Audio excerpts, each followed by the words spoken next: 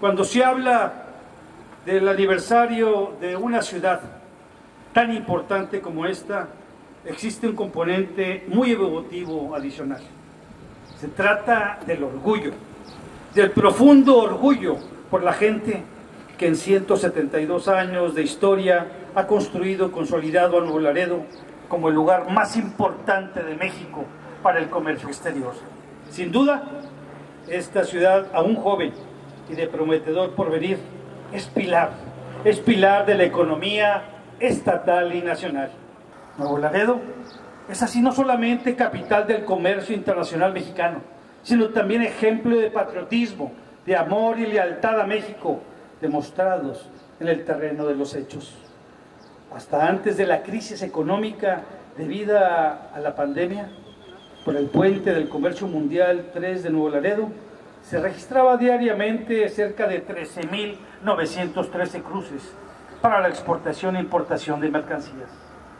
Del total de pedimentos registrados en las aduanas de Tamaulipas y Nuevo León, más del 65% corresponde a este municipio.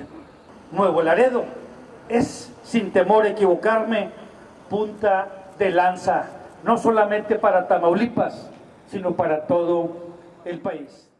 Las y los neolaredenses hoy tenemos más que motivos para estar de fiesta, pues celebramos el 172 aniversario de la fundación de nuestra cuna, la tierra que nos vio nacer, Nuevo Laredo, y la hacemos con el renovado y claro espíritu de aquellos fundadores quienes nos dieron nombre, identidad y un marco legal y geográfico, pero sobre todo la oportunidad de una vida productiva, plena de desarrollo y bienestar para nuestras familias.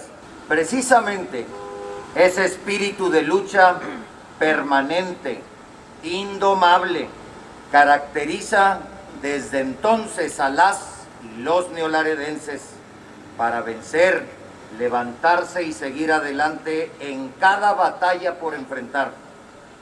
Hoy estamos ante uno de los desafíos más grandes que ha enfrentado la humanidad, la crisis de salud por la irrupción del coronavirus en el mundo.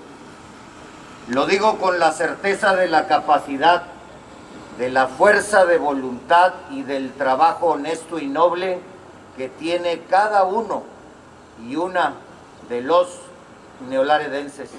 Una vez más, vamos a salir adelante. Pueden tener la seguridad de que contamos con el apoyo y la amistad sincera de nuestro amigo, el gobernador del estado de Tamaulipas. Me refiero al licenciado Francisco García Cabeza de Vaca.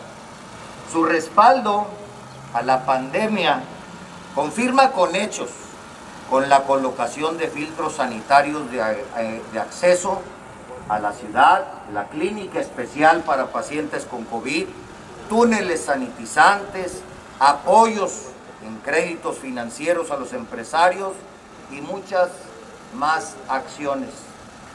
A nombre de la ciudadanía, a nombre del gobierno municipal y el mío propio gobernador, muchas gracias por su solidaridad con las familias de Nuevo Laredo.